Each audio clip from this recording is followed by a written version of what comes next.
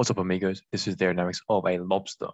So we have the flow going from left to right, and we've colored it pinky red like a regular lobster. And we've got the flow going from zero to 25 meters per second as we rotate around. It's pretty good. Like here, there's not too much turbulence. You can, oh, or some craziness. There's really just that little bit of an inflection here where the flow comes in and goes down a little bit. But that's because it seems to hug the tail and the back. So that's quite aerodynamic. And considering this is hydrodynamic, it makes sense that it'll be aerodynamic.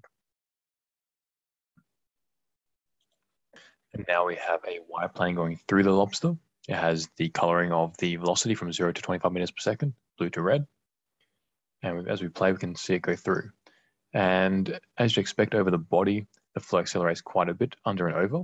Now they seem to accelerate about the same amount, so it cancels out and there's not too much lift.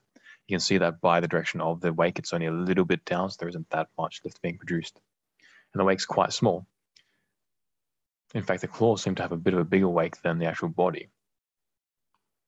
So make sure to like and subscribe this.